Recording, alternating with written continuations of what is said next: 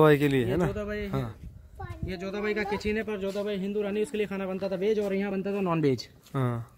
और ये मरियम रानी का रूम है इसको बोलते थे गोल्डन हाउस क्योंकि समय के साथ चारों साइड सोने के पानी से पेंटिंग था। लेकिन समय के हिसाब से सब पेंटिंग खत्म हो गया आप बोलते हैं इसको सुनहरा महल। अच्छा। गोल्डन हाउस अभी हम चलेंगे सबसे बड़ा महल देखने के लिए जोधा भाई का।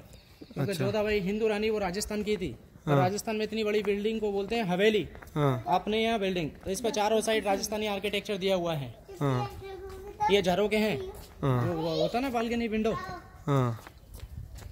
तो इसका फ़ोटो वगैरह लेना है तो वहाँ से लेना ये पूरा फ़ोटो आता है। अच्छा। इसके बैक साइड है फिर चलते हैं फतेहपुर। हाँ। यहाँ बुलंद दरवाज़ा और सलीम चिश्ती जी की दरगाह है। अच्छा। अकबर को बेटा यहाँ से नहीं मिलता ना ये फतेहपुर सीकरी बनता।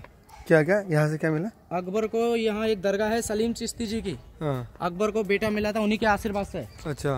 अगर अकबर को बेटा नहीं मिलता कौन सा बेटा हुआ? सलीम जहांगीर। अच्छा। अकबर को बेटा नहीं मिलता ना ये फतेहपुर सीकरी बनता ना है वो ताजमहल। हाँ। तो आप पहले यहाँ खड़ो जाओ मैं फ़ोटो ले देता हूँ आपका। अच्छा ठीक है।